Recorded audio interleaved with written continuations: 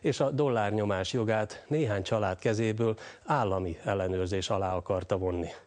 De jött egy magányos merénylő, vagy sok-sok magányos merénylő, és véget vetett az elnök életének, példát statuálva másoknak. Így járt már korábban Lincoln is, így járt Diana hercegnő, mert ugye a muzulmánokat gyalázó, a Koránt megtipró Salman Rusdi a brit királyi ház kedvence volt, meg a liberálisoké, meg a pénzügyi háttérhatalomé.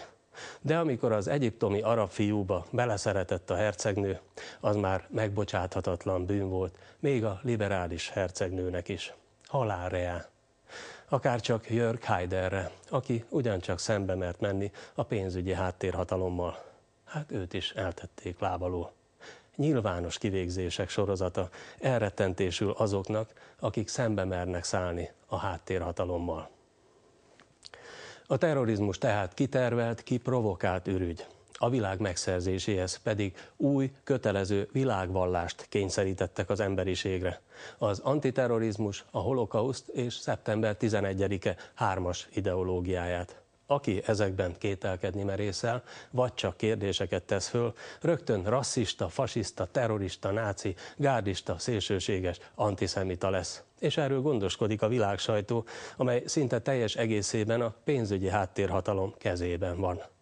Aki az új világvallást kifogásolni merészeli, inkvizíció elé kerül, üldözik, meghurcolják, kitagadják, megfosztják élet lehetőségétől. Vagy ha már nagyon veszélyes, az életétől is. A mind arcátlanabb és gátlástalanabb szemitizmus ellen egyre többen emelik fel szavukat. Izrael Szahák, holokauszt túlélő és izraeli békeaktivista mondta, őt pedig azért nehéz antiszemitizmussal vádolni, a szemiták mégis megtették, mert Izrael Szahák azt merte mondani, hogy az antiszemitizmus és a zsidó sovinizmus ellen csak egyszerre lehet küzdeni. Nemrég ugye a szemiták rásütötték Günther Grass híres Nobel-díjas német íróra, hogy antiszemita. Csak mert bírálni merészelte Izrael iráni és világháborút provokáló kalandorságát. Günther Grass persze rögtön náci lett és SS. Korábban ugyanígy bírálta Izraelt, és Görögország tönkretételében a szemitákat tartotta felelősnek a világhírű görög zeneszerző Mikis Theodorakis. Még korábban a hollywoodi filmgyártást félrevívő zsidók ellen emelt szót Marlon Brando. Az antiszemitizmus vérvágyával terrorizált nyugati értelmiségiek közül a legidősebbek mernek megszólalni, azok, akiknek már nincs vesztenivalójuk, akiktől már nem vehetnek el semmit.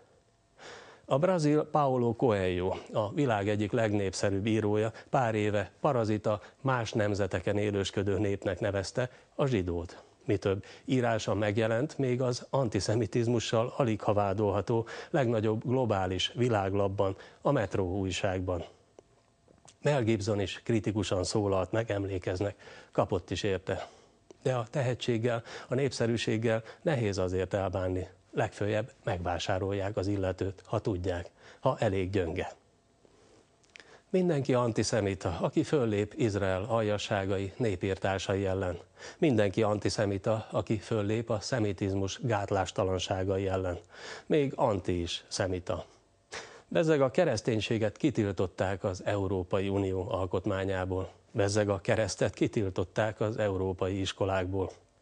De lehet Mohamedet is gyalázni büntetlenül, lehet nyilvánosan Koránt égetni, rengeteg ember halált kiprovokálva és aztán kétszínű, liberális módjára igényt tartani az Európát féltő, nemzetéért aggódó, jobboldali nemzeti pártokkal szemben a bevándorló muzulmánok szavazataira az európai parlamenti választásokon. És akkor itt vagyunk mi, magyarok, a keresztúton. A békemenet és a megmozduló sok százezres tömeg, amely létét, nemzetét félti, ne csak hivatkozni való ürügy legyen, vagy kijátszható kártya a valuta alappal és az Európai Bizottsággal folytatott tárgyalásokon.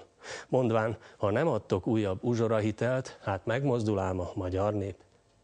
Miféle szabadságharc az, amelynek a tétje, hogy kivívjuk a jogot újabb uzsorahitelekre, kamatfogságra, adós rabszolgaságra. Jó lenne végre tudni, valójában ki az úr Magyarországon, ki kormányozza nemzetünket, és merre. Az adós rabszolgaságba, kamatfogságba, hitelcsapdába taszított nemzet bulvármételjel elbutított tömegei révén a rotációs alapon egymást váltó kormányzatok cinkosan összekacsintanak, látszatra szidják egymást, de valójában igen békésen együtt élnek. Kész átverés só. Sóhivatal, demokrácia. Elszámoltatás, felelősségre vonás, minden kockázat nélkül. Mert még senki, de senki nem felelt hazánk rettenetes eladósodásáért, elszegényedéséért, lemaradásáért.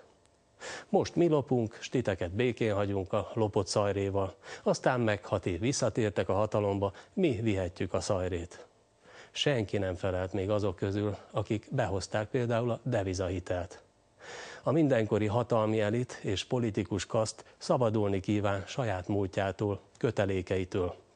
Ám a hatalmi elit, a politikus kaszt szabadulni vágyása nem egyenértékű a nemzet szabadságharcával. Összemosni a kettőt érthető a hatalom részéről, de nem a nemzet egésze részéről.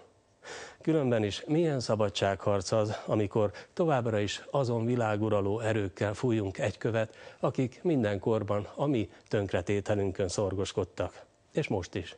Mi pedig utolsó csatlósként mindig kitartunk tönkretevőink mellett. Végsőkig kiállunk elveinkért, még ha azok rosszak is a végzetes döntésekről nem is szólva. Így aztán majd utolsó csatlósként süllyedünk el az EU-val, a NATO-val, a valuta alappal. Mint padhoz láncolt gályarabok, evező lapháttal a kezünkben. Ők meg, a hajcsáraink átszállnak a másik hajóra, ahol már kínai a vezérlet nyelve.